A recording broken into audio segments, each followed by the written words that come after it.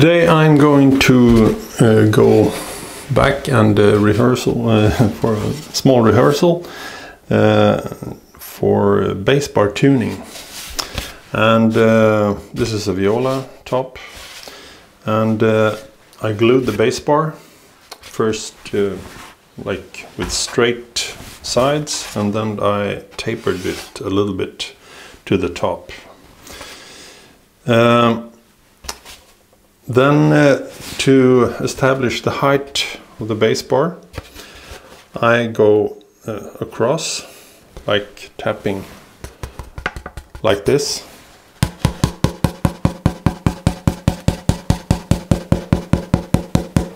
And that's, in my ears, the same pitch, even though I go across like this. Uh, I've done from here and down, but I haven't done this part. So uh, I'm going to show you uh, what it was like before I tuned this and uh, this part here. So we go the same here, like across.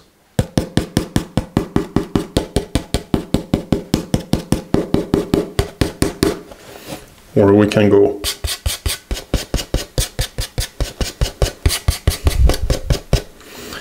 Can you hear that it's da da da da da da da da da da da da higher here and as you know higher means take away and uh, when you tuned the middle because you always uh, go from the middle out uh, also when you uh, are tuning the top, like from the middle out. Then uh, you can go like this.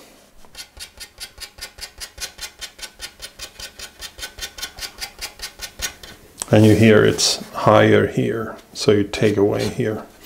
And when that is done, you tuned all the way, it's going to sound a little bit like this.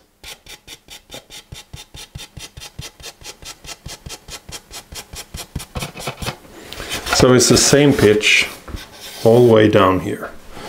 And uh, uh, since this is going to be a new unit, the bass bar and the top, the pitch should be the same even though I go out on this area where there is no bass bar.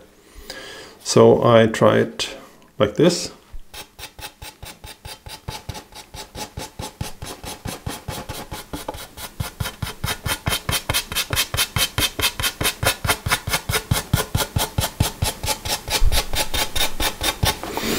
And the pitch follows all the way even out on the area where the bass bar is not there. Uh, this also tells about the length of the bass bar. Uh, I know that in, uh, well, for instance, Sacconi book, um, they say that uh, the violin should be well, the bass bar of the violin should uh, stop at 40 millimeters from the edge here and here. I'm not so sure about that. Uh, my bass bars go down and then uh, I cannot take away any more material up here. And the, since the bass bar goes up here, I don't see the support for this last part. Uh, it has to sort of be a convex curve as long as it's supporting. When it starts to be concave here, it doesn't support anything. It's just dead wood, so to say. So I cut my bass bar where, uh, well, where this dead wood occurs.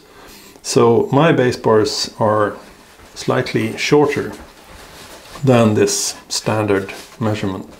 So on a violin I tend to go closer to 50 millimeters than the 40. Uh, well, I guess that's it.